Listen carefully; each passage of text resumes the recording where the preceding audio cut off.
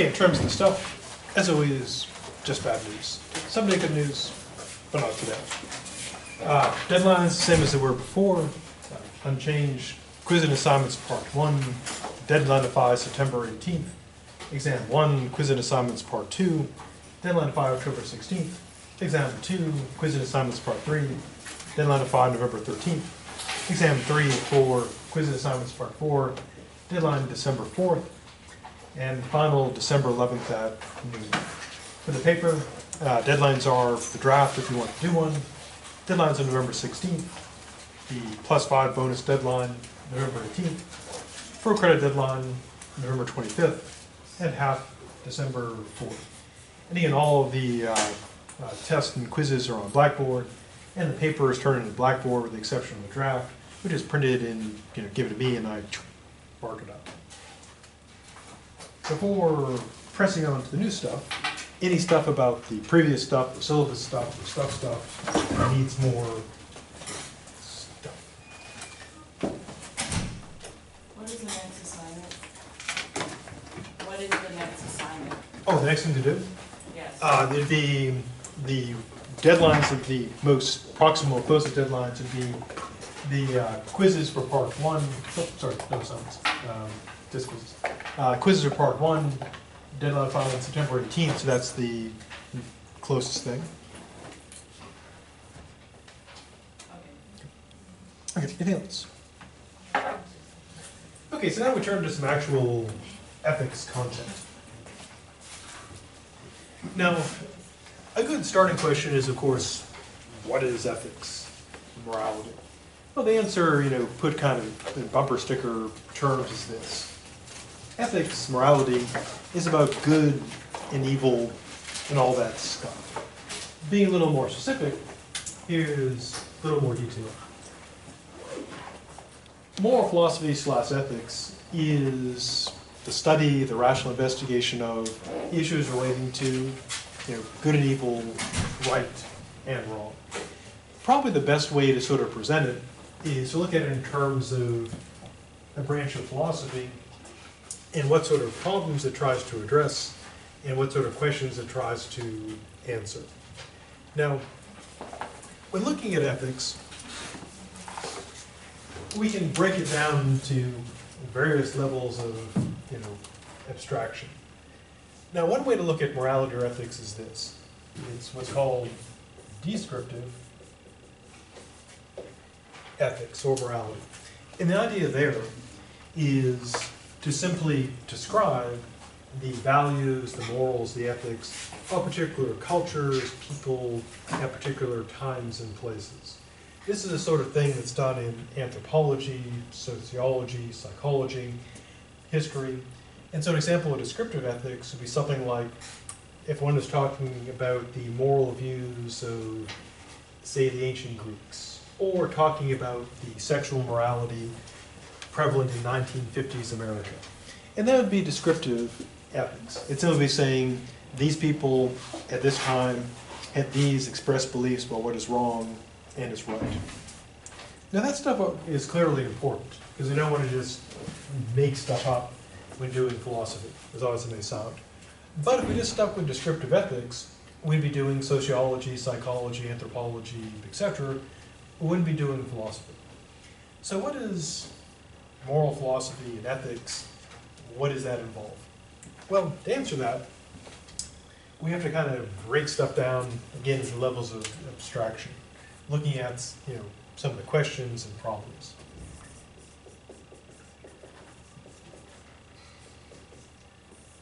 At the most extreme level of abstraction is what's called metaethics. The idea is this. Metaethical questions deal with the most abstract, the least concrete questions, sort of the highest level. And these would include questions like this. What is good? What is evil? Not in terms of particular things that are good or evil, but in terms of evil itself. What is the nature of evil? What is the nature of good? Another uh, question on the meta level would be something like this. Is good and evil, morality, ethics, is it subjective or objective? is it in the eye of the beholder, or is it a feature of reality? And so the metaethics deals with those most abstract questions and problems. And again, probably the, the two biggest ones are what is good and what is evil. Now, moving down to being a little bit more concrete, we go down to what's called normative ethics. This is a level that's more concrete than meta. This involves developing the principles, rules, etc., that are then applied to particular cases. So, to use a concrete example, in normative ethics, we work out our sort of general principles and standards. We might work out a principle that lying in general is wrong, or killing is wrong. And so this is still kind of general, because we're dealing with, you know, broad principles or rules, etc. But it's more concrete, bless you, than meta-ethics. Now, the most concrete level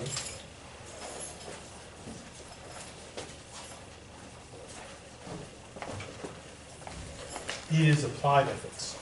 As the name implies, this is taking our principles, standards, rules from our normative ethics and applying them to particular concrete cases. For example, let's take a, let's take an example that illustrates it all the way down. At the meta-ethical level, again, the question is like, what is good, what is evil? And we may we also look at the question of what is the basis of morality? One answer commonly given by people is, not surprisingly, as we'll see, a religious answer. So someone might answer the meta-ethical question, what is the basis of morality, with the answer, God. Or as we'll see in part two, something else. At the normative level, that's working out, you know, the principles, the rules, etc. And so you might have, for example, take one of the standard rules in religious-based ethics, uh, killing, uh, no, none of that stuff. Then when it comes to applied ethics, we would take our principles or rules and apply them to a particular case. For example, we might apply them to the issue of capital punishment. We might say, well, if God is the basis of ethics, that ethical, and if one of our principles is, you know, don't kill him, then we might say in the particular case of capital punishment, that would be wrong, for example.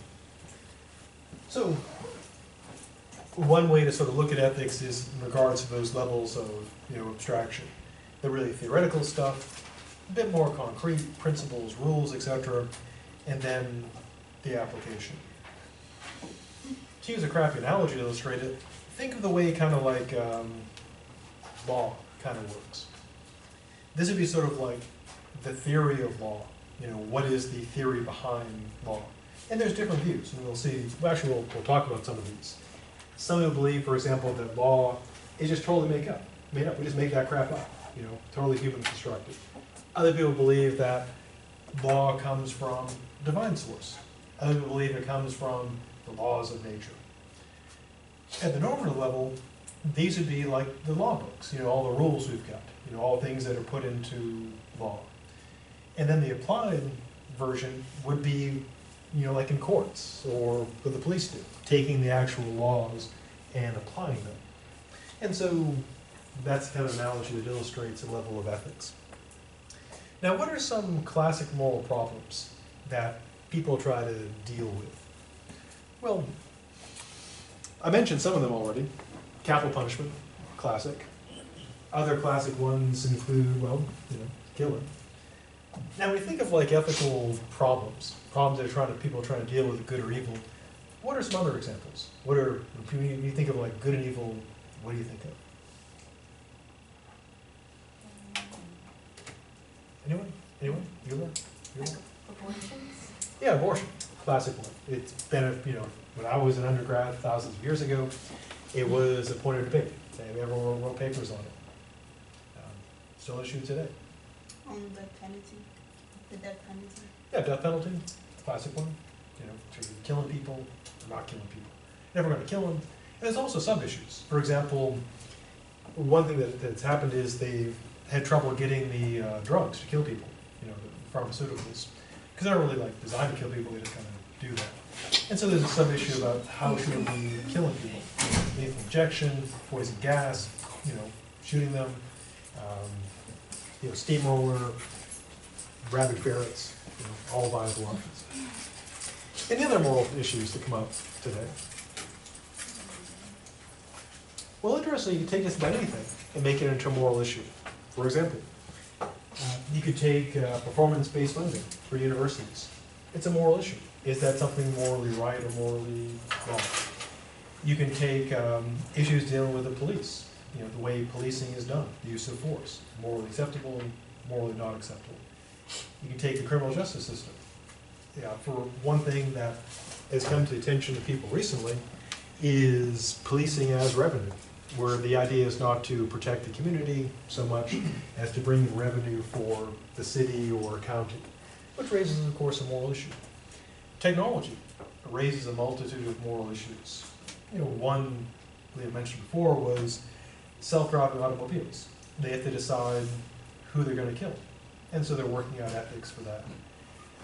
In terms of, you know, machines designed to kill, the way, if you're looking for, you know, a career or investments, autonomous weapons, supposed to be the wave of the future, machines that kill us um, by themselves. But of course, it does raise important moral issues. Should we be building machines that go around autonomously killing people? And so there's all kinds of classic moral, moral problems. And we'll be looking at, at many of them. Now, when doing the moral stuff, one important thing to consider, of course, is, so how do we do our moral assessments? If we're gonna talk about like, this is good or this is bad, what do we use to sort that out? Well, here are some of the focuses of assessment.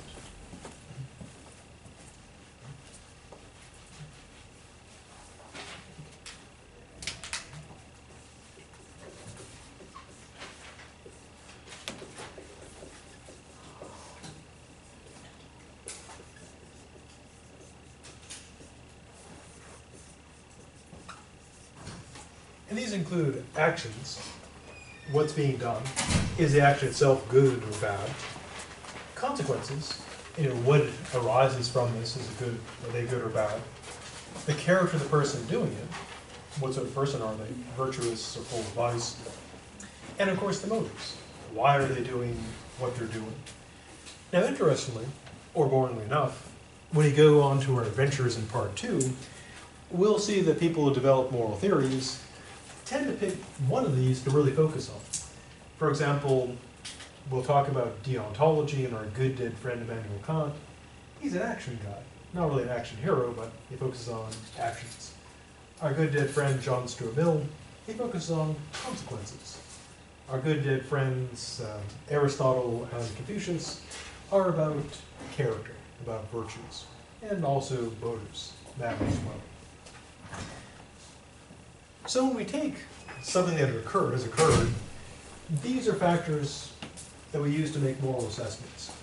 What was done, is it good or bad? Are the consequences of those actions good or bad? What sort of character is involved, and why is, are they doing what they're doing? And as you notice, this also, not surprisingly, is analogous to the way law operates, at least supposedly. We look at what's done, what effect did it have, what kind of person is on trial, and why were they doing what they were doing. Now, interestingly or boringly enough, these things can all be, you know, kind of in the same mode. It can like all be good or all be bad. But they're often interesting cases in which it's kind of mixed and mashed, where you can get, in some ways, kind of odd combinations. For example, could there be a situation where someone has bad character, they're a bad person, they have evil motives, yet they do an action that seems, or actions that seem good, that have very good consequences. In other words, could someone do all the right things, an evil person do all the right things for all the wrong reasons?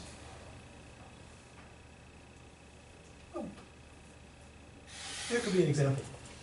imagine, if you will, someone who's the CEO of evil corporation. They're evil, they're always hiring, they got good intention. And imagine the person is like seriously evil. Then in, among their, their many evil traits are they're sexist, they're racist, and they're greedy. And they got all kinds of sins, except for sloth. They haven't got that because they're really they're a real go-getter. So no sloth, just they're all the other stuff. So six of the deadly sins, but not the full seven. Now, so bad character, and their primary motive is greed. So they hate pretty much everyone else. What they love is that sweet, sweet cash. That's their number one goal, get cash. Now, suppose the person is running a company, and they're a total racist, sexist, awful, awful person. But motivated entirely by greed. Now, suppose someone runs a company and they have all kinds of racist and sexist policies, and when they're interviewed, they say all kinds of racist and sexist things. So, what would happen to Evil Corp if their fearless leader did all that racist, sexist stuff? At least in the United States. Um, get shut down. Yeah. The super lawsuits, people say, I'm not buying that, I'm not buying from Evil Corp. I guess the Evil Corp should have been a giveaway, but yeah, the company would fall apart, they would lose all their money, and they would be poor, the thing they hate the most. So in order to stay in business, of course, and get that cash to fill that greed, the person would need to have enlightened hiring policies. And of course, the consequence would be is the company would be hiring all kinds of people, you know, minorities, women, and doing things that would seem to be good. So out of pure greed, a very real person could do things that would seem to be good. Now, of course, you can also have other different combinations. For example, you can have people out of good character and good motives do something that has terrible consequences. For example, some many years ago, when they were developing the vaccine for polio, and polio is really bad. You don't, if someone offers you polio, do not accept it. Do not want to do that. Polo shirts, probably okay. Game of polo, I guess okay. Never played it. Like horses, but, guess you have, you have a certain income to play the polo. Haven't got that income. I can play croquet, you know, the, the lawn thing. Bad at that. Actually, we used to just hit each other with sticks. That was bad. So we're not allowed to play that anymore. Not allowed to play that anymore. So you could have, you know, when they were developing the polio vaccine, they were working out, you know, how to make it work. And the way, you know, vaccines, to gross oversimplify it, there are some, some ways they work, but one way is they inject a totally dead virus, if death, you know, means anything for viruses. And what, so basically like they're injecting you with virus corpses, kind of yucky. But anyways, what happens is your immune system goes and grabs a hold and says, hmm, that stuff's pretty nasty. I'll remember that, so next time I see it, I'll be ready for it. Now, another thing they try is what are called attenuated viruses. They're weakened, so they kind of beat them up a bit and then inject them. Now, unfortunately, what happens is sometimes attenuated viruses are not totally beaten up. So when they were developing the vaccines, they actually did give some people polio, and that, of course, is bad. So good character, presumably the doctors were good people. They wanted to, you know, eliminate polio, but that particular thing had a bad consequence. Namely, people got polio. Another similar example was when they were developing, um, you know, retrovirus treatments. Another interesting thing they do with viruses is normally we don't like viruses because they do bad stuff. But they found they can put stuff in viruses, genetic material, inject them, and they'll they can fix, you know, problems, you know, which is, you know, not only ironic but kind of funny, taking bad viruses, making them, you know, work for us. But when they one of the times, the first times they tried that, it had a the result of killing the person they were trying it on, and that is clearly, you know, bad. So bad consequence, but good intentions and good motives to help people. And of course, you can also have people of good character who have bad motives, who do bad things, because even good people have bad, bad days. They go, go bad. So those are three or four areas of, of assessment. Is the thing being done good or bad? What are the consequences, good or bad? What kind of person are we dealing with? And why are they doing what they're doing? before pressing on, anything about the stuff so far that needs more stuff?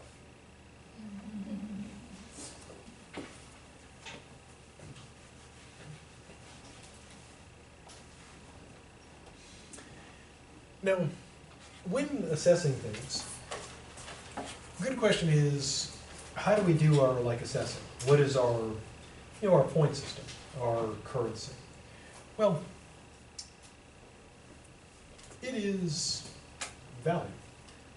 Defined, um, you know, pretty, pretty quickly, value is a measure of worth. Now, value can be in many areas. For example, the most obvious example is in economics. We talk about economic value, you know, money. There's also things like strategic value, you know, in military operations, you know, positions, etc., locations. There is artistic value. Our main concern, of course, is with moral value. But value, you know, put generically, is a measure of worth. Now, value, to add some more complexities to it, splits into, I guess, two main polarities. Positive value and negative value.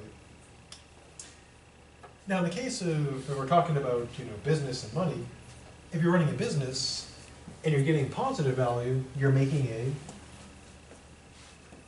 yeah, profit, it's a plus. And if you're not, you're running at a loss, which is bad. Unless you're looking for that tax write-off, which it can be good, because you can write off business expenses. Yeah. In fact, some, you know, there's some suspicion that um, Fantastic Four was created as an intentional flop, as a big tax write-off. The other explanation is that it's just really awful unintentionally. I don't know which story is, is better. Now, when it comes to like art, we have, you know, positive value is beautiful, sublime. Negative is awful, ugly. Now, our main concern, of course, is with ethics. And stuff that is positive value in ethics, we talk about as being good. And the opposite is, of course, yeah, bad or evil. So we've got the positive and negative polarities.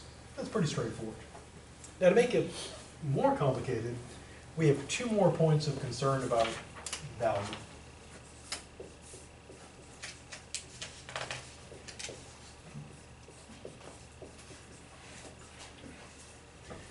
Specifically, the intrinsic value and extrinsic value. Now, one big, big question, not only in ethics, but also in like art, economics, etc., is whether or not something has extrinsic value or intrinsic value. And so what's the difference? Intrinsic value is the easiest one.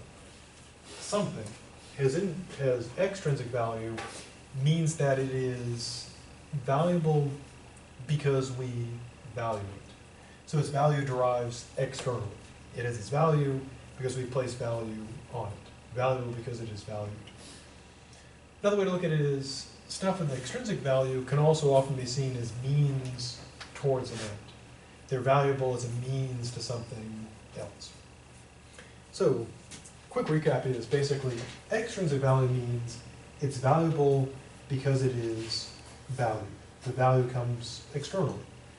And typically, it's regarded as a means to an end of something of greater value. It doesn't have value, well, if it's purely extrinsic, it doesn't have value in and of itself. It's valuable because it's valued. Examples of this would be, well, take um, easy and obvious examples. Things like uh, food. We value food because if we, we like the, the taste, typically, and if we don't get it, we die, basically. And so food is valued because we value it. If we, if we were like, you know, plants, we wouldn't value, you know, except for plant food, we wouldn't value food. If we just get all our, our nutrition from like, you know, all our nutrition from breathing and energy from the sun, yeah, we wouldn't have any use for, for food. And once, you know, Google kills us all and the, ro- robots take over, food won't be valuable because they won't need food. They just need energy. Another example is of extrinsic value, would be, um, well, things like cars. We value cars because, well, they go faster than we do and carry more stuff. And we also sometimes value them because their, they serve as status symbols. And people, you know, enjoy it. You know, people like driving, driving around and stuff. Other examples of extrinsic value would be, well, a clear one is money. If you take out like a ten dollar bill, it's only valuable because we say it's valuable. That's why it's, why, only reason why it's worth something. It's basically, um, well, actually, money is a big game of make-believe, for real. What's the difference between monopoly money and, and real money? Well, just, you know, one we call a game, and the other we pretend is real. It's only valuable because we value it. If someone didn't value money, it would have no value to them. Some, you know, to use uh, kind of extreme example, think of like, you know, the apocalypse movies and, you know, like walking, or shows like Walking Dead or Mad Max. You know, after the apocalypse, money's not gonna be worth, worth anything. Because, you know, there's no more currency in government, you can't buy stuff with it. It is purely extrinsic value. It's only worth something because we say so. Interestingly, things like uh, gold and diamonds. People often say, well, gold's got you know, real value. But really, no, it doesn't. Because gold is only valuable because we, we say so. Just like with money, you know, if someone takes out gold and says, I've got gold, well, it's only worth something if people are willing to trade that gold for something else. Now, I mean, true, generally gold has been held its value better than paper money, but that's just because we think it does. But it just, its value is just extrinsic. It's worth something because we say it, it is. So there's all kinds of stuff that's got extrinsic value. Uh, education, for example, does have extrinsic value because if you get a college education, on average, you'll make, I think what they say is a million dollars more in your life than someone who doesn't have a college education. That's a whole life. It's not like, you know, you don't get that million after you graduate. Be kind of cool if you get it up, you know, up front. Take my million now, please. Okay, I retire. I, I just won this, I just won life. Now, so this is pretty, you know, pretty straightforward, pretty well accepted. The stuff that's got value because we value it, or as a means to some other end. What's more controversial, though, is what's called intrinsic value. Intrinsic value, being very, you know, being very strict about it, is something that has worth in and of itself. And in theory, even if there were no people or intelligent beings around to value it, it would still somehow have worth. So its worth does not depend on us valuing it. It's not valuable because we value it. We should value it because it is actually valuable. Its worth derives not from being a means to an end, but simply has value in and of itself. Now, that's a bit trickier because, again, extrinsic is easy. It's easy to prove something is extrinsic value. You just say, hey, would you like some of that? And if someone says, yeah, it's got extrinsic value.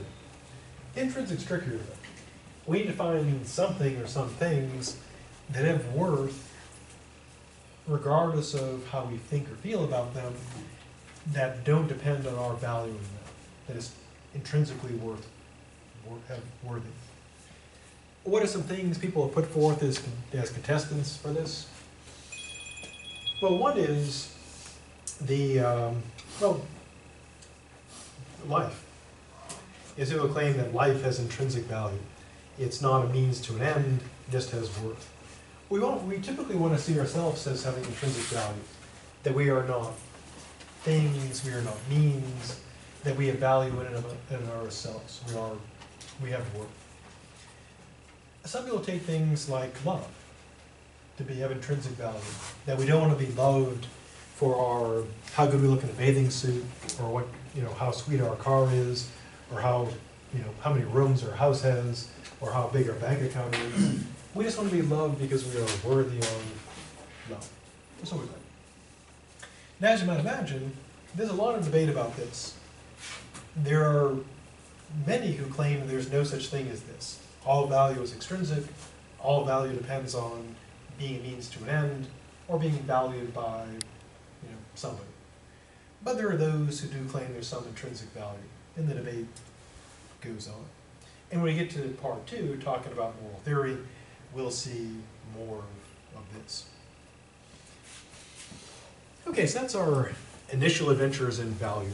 Before pressing on, anything about you know, plus or minus, or extrinsic or intrinsic that needs more stuff.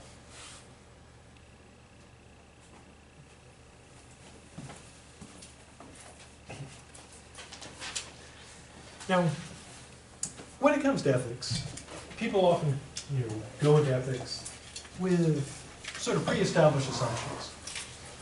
In general, people generally tend to be like relativist or subjectivist, or they think they are. Because if you ask people like, well, you know, what's what what is morality? And people often say, well, you know, it's the rules of your you know society or culture, or it's you know what people think of being bad or, or not bad. Interestingly or boringly enough, there actually is a spectrum of morality. The good question would be, so what does this mean? Why should one care? Well, here's what it means. Well, one is one of the important meta-ethical questions is this: Is morality an aspect of reality, or is it just you know how we you know feel about stuff? So, kind of the question is, well, what is the foundation of morality? Is it something objective, you know, true or false, regardless of what we think about it, or is it something more subjective, you know, a matter of opinion or culture? Interestingly, boringly enough, every moral view, and any you know moral view you might have or anybody might have, fits somewhere in this spectrum, and it answers the question about morality being objective or subjective. Is it just, you know, not part of reality, or is it? To be a little clearer, we'll look at each of the options. At one extreme, we have what's called moral absolutism. How do you become a moral absolutist? Well, you gotta believe the following stuff. First, the moral absolutist believes that morality is objective. It's true or false, regardless of how we think or feel about it. Secondly, morality is absolute. That means that, first, there's only one correct answer to any moral problem. Secondly, and most importantly, there are no exceptions. Hence the absolute part. For example, suppose someone's a moral absolutist and they believe that lying is wrong. Well, for the moral absolutist, lying would be objectively wrong, and it would always be wrong with no exceptions, no matter what. Lying would always, always be wrong. So you should never lie. Now, the appeal of absolutism is that it divides the world very sharply. You know, every, there's a definitive answer to every moral problem, and it's a sharp division. Absolute good, absolute evil, and of course, absolute vodka. That's not part of it. Now, suppose you, you like the objectivity. You think that, okay, morality is not just a matter of opinion, it's, you know, a real, real thing. But you don't like the absolutism. To illustrate, let's go with the example of lying. In general, do we think that generally lying is bad? Yes. Yeah, generally, especially when someone's lying to us. I think that's always, pretty much always bad. But are there exceptions? Are there times when lying is probably okay? Yes. Yeah. Yeah. So we think it's both bad and, you know, also potentially not bad. Now, if you take that view, if you want to say, well, okay, it's, it's bad, but there are exceptions, you could be an objectivist. The objectivist view is, is that morality is not surprisingly objective. It's true or false, regardless of what we think or feel about it. It describes you know, features of you know, reality correctly or incorrectly. But objectivism does allow for exceptions. So, for example, taking lying, we generally think that lying, you know, is, is bad. But we do allow cases where the lying is bad principle can be overridden. The usual example people use is, of course, lying to save people's lives. You know, you can take like the usual historical example. You're, you know, a French farmer, you're hiding some Jewish people, you know, in your attic, and the Nazis show up and say, do you have any Jewish people? And you say, I do not. I do not have any Jewish people. It's lying, of course, but we'd say in that case, lying to protect people from Nazis is morally okay. Or, you know, to use a, you know, non-historical example, suppose, um, you have a friend is being subject to domestic violence, and they come over, you know, they, they say they've been beaten up, and they, they want you, they want you to hide them. And then the partner comes over and says, where is that so-and-so? And you say, they're not here. It's a lie, but we would think that in general, to protect people from harm, we think that sort of lying is acceptable. Or similarly, when parents tell their kids about Santa Claus or the Easter Bunny, sad, terrible lies. But we don't think of that as, as evil because the intent is a good one. So children believe that there is a Santa. And we totally wish Santa was real.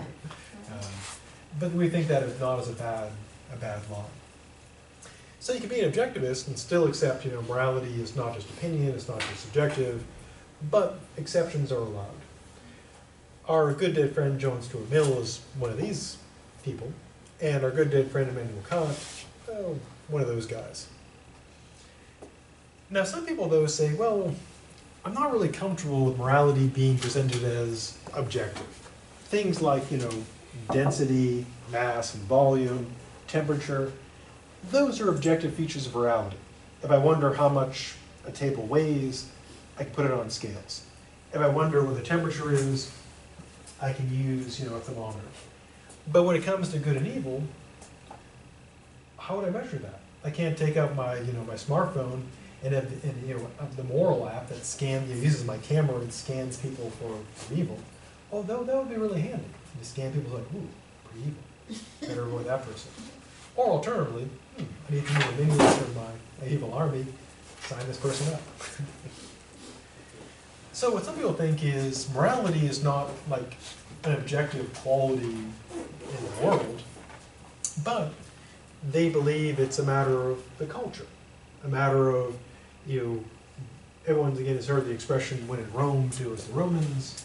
It's a view that what is good or bad in Rome depends on the Romans. So in that case, if you believe morality is based on the culture, cultural rules, that view would be relativism. So how does relativism work? Well, I'll use my usual standard, standard crappy illustration. By using an analogy to law. Now law, you know, human law, is clearly relative. What is legal or illegal depends on where you are, you know, entirely. First, to use a simple example, suppose you've got, um, you know, two, uh, two states and a road running between them. And the speed limit here is sixty-five, and it's fifty-five here. And the person's, you know, driving the car. Now, if they're driving here, and they're going sixty-five, perfectly legal, they're driving legally. But as soon as they cross the border, they're now driving illegally. Their- speed stays at sixty-five.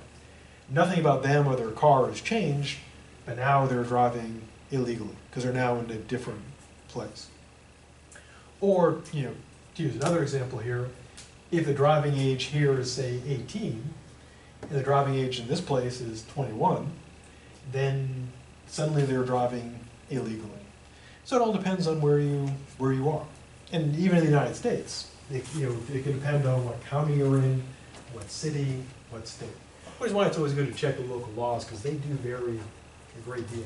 Something you can legally, you know, have in your car, be walking around with in one state, could be like a ten-year sentence in another state. It's always good to check. I mean, for example, in Texas, you might have seen pictures of people walking around, you know, carrying assault rifles, going to like, you know, Wendy, you know, Wendy's and stuff. They have open carry. But if you walked around, you know, if you went into a Wendy's and assault rifle in Florida, it probably wouldn't go quite as, quite as well. Now, so how does relativism work? Well, the idea there is, using the analogy of law, is that just as law is set by where you are, morality is set by where you are, by the culture. So imagine we've got two cultures, culture A, culture B. And suppose B embraces, you know, principles of gender equality, that women and men have the, you know, the same basic rights, right The drive, education, etc. And in country A, things are a bit different. Women are considered to be inferior, and they're not allowed, they regard the woman driving as being immoral. So if there's a woman driving a car in country B, she's driving morally. But as soon as she crosses over into A, nothing about her or her car has changed, but because the culture regards that as wrong, she is now acting wrongly. So the culture determines the morality, the cultural rules. And as we'll see when we get to part two, this idea of moral relativism, pretty popular. Good example of moral relativism is our good, really, really, really dead friend, Herodotus. And he's super dead because he was an ancient Greek, so he's not only dead, he's super dead. now, for some people, though, relativism is not enough. They look at it and say, well, yeah, that's all well and good, you know, culture sets the morality, but that's kind of repressive. Why can't the individual decide what's good or bad? And also looking at it, when we look at cultures, we don't see uniformity in the culture. For example, if we were to ask, what does American culture say about capital punishment? Or open carry of firearms? And the answer would be, well, it depends on who you ask. Some will think it's okay, some will think that it's wrong. So what some people do is they embrace subjectivism. What's subjectivism? Well, I need another crappy analogy for that. Now, some things are pretty clearly subjective. Take, for example, food. Whether you like or dislike a certain thing is subjective. So if someone says plantains are yucky, and someone says plantains are yummy, they're expressing a subjective view. Plantains are neither, they- if you were to analyze plantains, you would find, you know, carbohydrates and sugars and so forth, but you wouldn't find yumminess or yuckiness. Those aren't things in plantains. So how we, you know, feel about them is subjective. It's what it tastes like to you. The subjectivist about ethics takes the view that morality works the same way. So good or bad is how you feel about things. So if you like, for example, capital punishment, subjectively it'd be good for you. If you dislike it, if your view is capital punishment yuck, it would be subjectively bad to you. Now, one problem with subjectivism, of course, is everybody has different views, and some people claim that if you buy into subjectivism, you really can't stick to it, because it all, effectively, there is no morality. Going with our law analogy, what if you can make up your own law, just whenever you felt like it? Would there be any law anymore? No, it'd be meaningless. You just make up your own rules at every, every point, rules would, you know, have no meaning anymore. Now, this takes us to our last two. Moral nihilism. Suppose looking at this, a person says, well, when people are talking about morality, they're really talking about nothing. Moral nihilism is that view. It's a view that when people talk about good and evil, right and wrong, they're talking about nothing. The words refer to nothing. So what's this like? Well, surprise, surprise, I have yet another crappy analogy. Now, the moral nihilist is to morality what the atheist is to religion. The moral nihilist does not deny that people talk about good and bad, right and wrong. The moral nihilist does not deny that there are books on ethics, just like someone who's an atheist. They don't deny that there are churches, synagogues, and mosques. Atheists don't deny that people talk about God and, you know, angels and saints and stuff. What, it- what an atheist claims is, when people are talking about God and angels and saints, they're talking about nothing. There's no such things. So moral nihilist is moral nihilism is a view that morality is about nothing. It's all make believe. There is nothing to it. And our last one is moral skepticism. That's the view that you can't know about morality, good or bad, right or wrong. So we go from one extreme to the other. There's one true view, no exceptions. There's true and false, there are exceptions. It all depends on your culture. When in Rome, the Romans are right. It's subjective. It's all about what you like and what you dislike. It's talking about nothing. And I have no idea. I don't know. And so that covers up pretty much all the options. So next time, in our next exciting adventure in ethics, we'll press on to more stuff with ethics.